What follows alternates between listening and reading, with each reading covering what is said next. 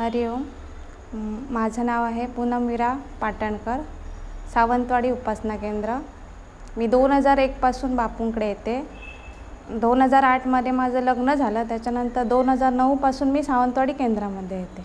लग्न झाल्याच्यानंतर माझ्या घरात खूप प्रॉब्लेम होते मान मानसिक त्रास मला खूप होत होता.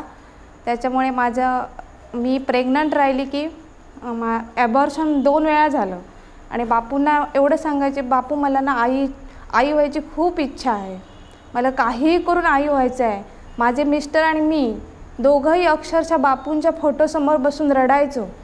नंतर दोन हजार बारामध्ये मी बापूंना सांगितलं बापू आता ना आम्ही पुढच्या वर्षी वर्धमान व्रत ज्या दिवशी दत्त जयंतीला सुरू होतं ना त्या दिवशी मी सांगितलं बापूंना बापू आम्ही पुढच्या वर्षी ना तिघं जणं येणार हा.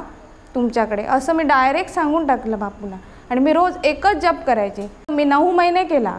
बापूने माझी एवढी काळजी घेतली ना नंतर मला दोन हजार बारामध्ये पंधरा ऑक्टोबर दोन हजार बारामध्ये मला मुलगी झाली आणि नवरात्रीच्या आदल्या दिवशी ती झाली अंबज्ञ. नाथसंग